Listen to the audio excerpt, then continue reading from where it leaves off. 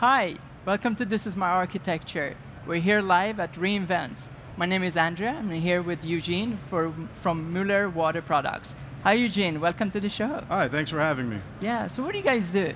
Well, Mueller Water Products is uh, a company that's been around for a very long time. We produce fire hydrants and all sorts of things for water infrastructure. And uh, over the last few years, we've been getting into the IoT and uh, IoT platform, smart water, uh, et cetera. Very cool. So today we're going to talk about real-time notification systems. Mm-hmm. what is that? Well, notifications are like they sound. Uh, we give them to our CSRs, or our customers' CSRs, uh, customer service representatives, uh, field technicians. Uh, notifications uh, allow them to see alerts that are happening out in the field and go fix problems. Very cool. So I know this architecture is on Amazon and you're using serverless. Correct. Our viewers are interested to understand, kind of walk us through the architecture. What have you developed? What have you built? Well, we developed a real-time notification engine using all serverless technology, so we don't have to manage any of the operations. We try to leverage as many managed services uh, as we can on AWS, and this engine is actually 100% serverless. Very cool. So walk us through this example, right? So I see SNS, SQS, RDS, bunch of notifications. yeah. So as a consumer, right, where, what, walk us through an end-to-end workflow. What sure. happens first? You have connected devices, I assume. Correct, yeah, we have an IoT platform. We actually have over a million devices oh, out wow. in the field. Um, obviously, there's alerts and system notifications that get triggered. So we have many different services out mm-hmm. here. I won't draw them up. Uh, but they all communicate uh, via API gateway into SNS. Uh, SNS goes to SQS, and we actually have many different SQS queues depending on the route it's going to take. I see. So we have an SQS queue for SMS, for email, uh, for persisting it into uh, DynamoDB, uh, as well as real-time notifications on our uh, application, our okay. front-end application. Yeah. So SNS triggers and actually fans out to many different SQS queues. All of those SQS queues trigger lambdas. The lambdas themselves are where we have all of the logic. So you'll have a lambda for SMS, for example, which we can draw right here. Uh, the SMS lambda will use SNS to send out real-time notifications to technicians out in the field on their uh, cell phones. Mm -hmm. The lambda for emails will actually use SES, mm -hmm. uh, which is a great tool.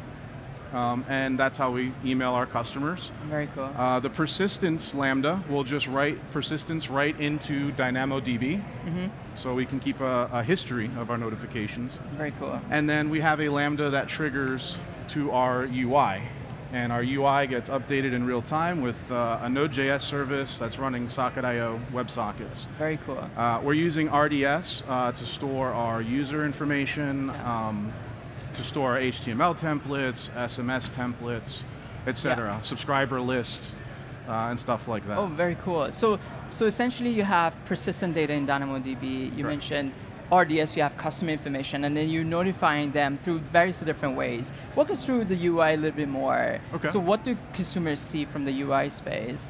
Well, it's we try to keep our UX patterns very similar. Um, so you'll yeah. see like a notification bell at the top right of our uh, our UI. Uh -huh. So you'll see, hey, we have a notification in. It'll go. There's like a red one at the top. Um, and then we have a notifications panel. You can see all of your yeah. notifications. You can acknowledge notifications. Hey, this isn't really an issue, or hey, this is an issue, uh, etc. I see. Now, I can think of this as large scale. You mentioned million of different connect connected devices. What are you taking in at this moment in terms of this million, and what are you looking at in terms of scale and growth? Oh, well, I mean, we're obviously growing uh, quite fast. We're at a million devices right now. We're adding tons every week, uh, yeah. really. And the cool thing about this whole architecture is, once again, serverless. Uh, we don't have to manage the operations. We don't have to make sure Lambda's running. You guys do that for us. Yeah, that makes sense. What are you seeing for the future? Where do you see this evolve? Uh, well, I mean, this is actually kind of future-proof for uh, the foreseeable future. Everything scales uh, from you guys. We don't have to scale right. anything. We don't have to click any buttons. We don't have to change any configuration settings. Yeah. Everything just works. Is there any obvious benefits that you have seen or realized through going serverless in your organization? Yes, less operational costs. Wonderful. That, that's the big one for yeah, us. Yeah, that makes perfect sense.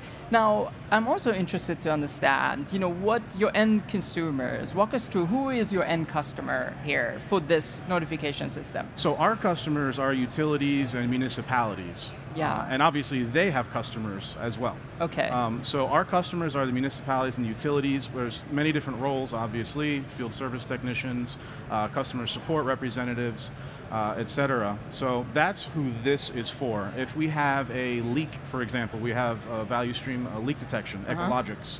yeah. Um, if there's a leak out in the field, we can actually instantaneously tell a field service technician or a team there's a leak out in the field. You know, you should probably go fix it. I see. And before you went to serverless architecture, what what architecture did you use before you walked, you know, came into this? What was kind of what did you have to go through? What did you have to kind of tackle in that scenario? Well, we kind of really didn't even have real-time notifications. Uh, I mean, we did emails and stuff like that. We didn't have SMS. We didn't have uh, WebSocket service. Yeah. There was nothing real-time on the front end. Um, so really, this is all from the ground up, cloud-native architecture, right? And Yeah, Yeah. that makes perfect sense. And what does the utilities see? What benefits are they getting from, you know, your notification Yeah, system? So they get instantaneous notifications for anything out in the field. Uh-huh. If uh, one of our metrology customers, if somebody you know uh, tampered uh, Yeah. their water meter, yeah. they'll get alerted immediately. If there was a leak, they'll get alerted. If a pressure drops in the Yeah. water network, Uh-huh. they'll get alerted immediately. Wonderful. Thank you very much for walking us through this architecture.